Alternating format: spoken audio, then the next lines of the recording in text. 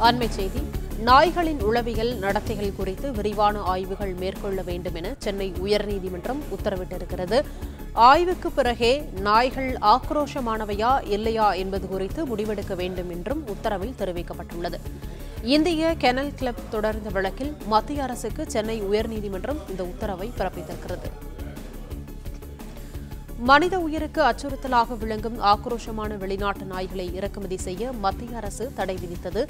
மத்திய அரசின் உத்தரவுக்கு பல மாநில உயர்நீதிமன்றங்கள் தடை விதித்த நிலையில் தற்போது தடை உத்தரவை மீறி நாய்களை வகைப்படுத்துவது குறித்து பொதுமக்களின் கருத்துக்களை மத்திய கால்நடைத்துறை கோரியது சட்டவிரோதம் என்றும் மனுதாரர் குறிப்பிட்டிருந்தார். இந்நிலையில் நாய்களின் உளவியல் நடத்தைகள் குறித்து விரிவான ஆய்வுகள் மேற்கொள்ள வேண்டும் என இந்த வழக்கில் சென்னை உயர்நீதிமன்றம் உத்தரவு பிறப்பித்துள்ளது.